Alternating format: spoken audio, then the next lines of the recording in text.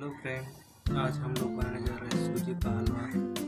उसको बनाने का प्रोसेस कैसे मैं आज आपको बताने वाला हूँ।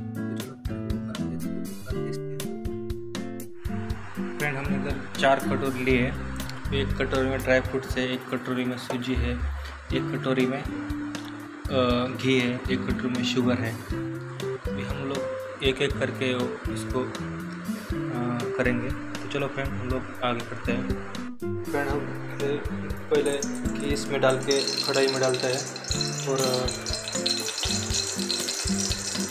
हम लोग ड्राई फ्रूट पूरा रोस्ट करते हैं।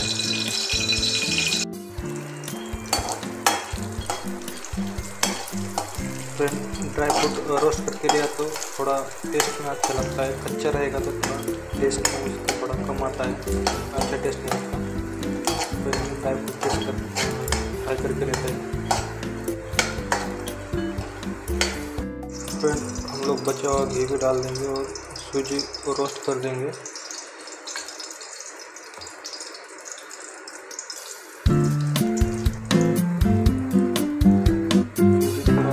लाल, सूजी पूरा लाल होने तक रोस्ट करना है।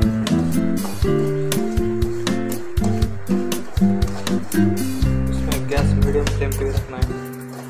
ताकि हमारा सूजी ज़्यादा बर्न ना हो जाए।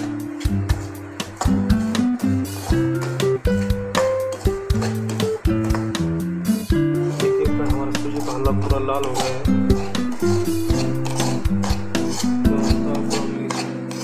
आगे ड्राई फ्रूट डाल देंगे शुगर डाल देंगे ड्राई फ्रूट पूरा डाल देंगे। पूरा हिला लिया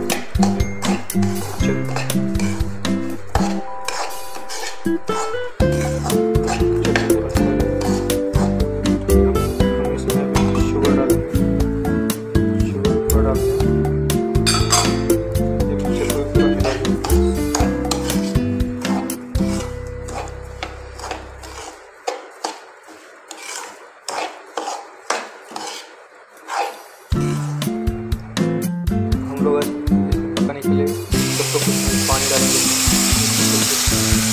पानी डालेंगे। हम लोग ऊपर से थोड़ा घी डालेंगे टेस्ट आने के लिए। तो फ्रेंड हमारे सूजी का हलवा रेडी हो गया पूरा सूख गया है। तो